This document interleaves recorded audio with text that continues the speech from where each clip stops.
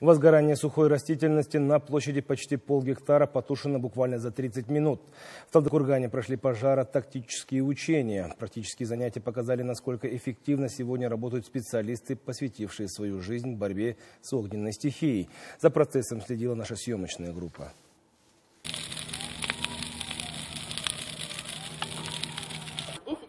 00 минут при облете патрульного самолета авиалесохраны обнаружил а, пожар на территории Государственного лесного фонда КГУ Талтыкурган. По сценарию противопожарных учений огнем охвачена территория в 40 соток. К ликвидации трех очагов возгорания специалисты, прибывшие на место, приступают незамедлительно.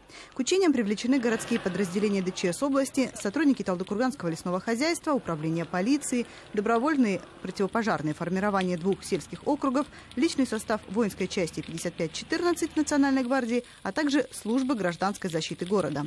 Всего 63 человека. Задействовано 11 единиц техники и один самолет самолет КАЗ авиалесоохраны. Благодаря слаженным действиям профессионалов буквально за полчаса очаги возгорания локализованы. 10 часов 37 минут пожар ликвидирован. Данное учение проводится с целью отработки взаимодействия в случае возникновения природных пожаров, лесных, степных пожаров на территории города и области в целом.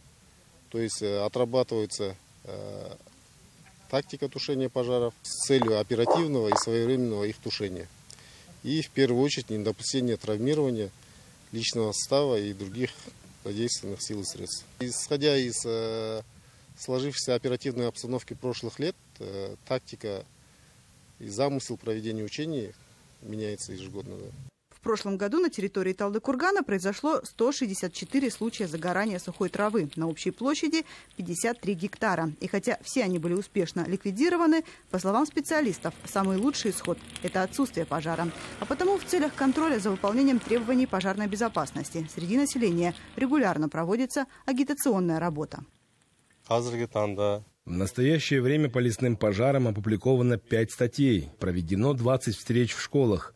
Прилегающим крестьянским хозяйствам выдано 30 предписаний. В целях снижения пожароопасной ситуации в лесу проведено контрольное сжигание травы, растительности на площади полгектара. В местах массового скопления отдыхающих обновляются вывески на противопожарную тематику. Пожароопасный период в области начался уже в конце мая, а потому специалисты призывают население быть осторожными и при отдыхе на природе непременно соблюдать правила пожарной безопасности. Надежда Белова, Аблай Кутыгбай, телеканал ЖТСУ.